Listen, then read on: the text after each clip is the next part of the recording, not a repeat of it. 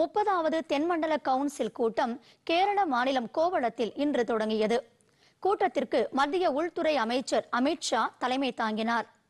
கூட்டத்தில் தமிழக முதலமைச்சர் மு ஸ்டாலின் கேரள முதலமைச்சர் பினராயி விஜயன் கர்நாடக முதலமைச்சர் பசவராஜ் பொம்மை ஆந்திரா தெலுங்கானா மாநிலத்தின் சார்பில் முதலமைச்சரின் பிரதிநிதிகள் இக்கூட்டத்தில் கலந்து கொண்டனர்.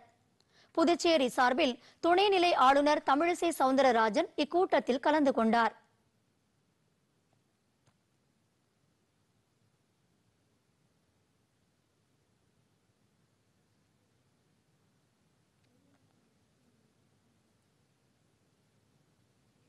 கூட்டத்தில் கடலோர பாதுகாப்பு நதிநீர் பங்கீடு உள்ளிட்ட விவகாரங்கள் குறித்து விரிவாக ஆலோசிக்கப்பட உள்ளதாகவும் தென் மாநிலங்களில் நிலவும் சட்டம் ஒழுங்கு பிரச்சனைகள் மாநில எல்லையோர விவகாரங்கள் உள்கட்டமைப்பு வசதிகள் சுகாதாரம் பெண்கள் பாதுகாப்பு உள்ளிட்ட அம்சங்கள் குறித்து இந்த கூட்டத்தில் விவாதிக்கப்படும் என்று தெரிகிறது.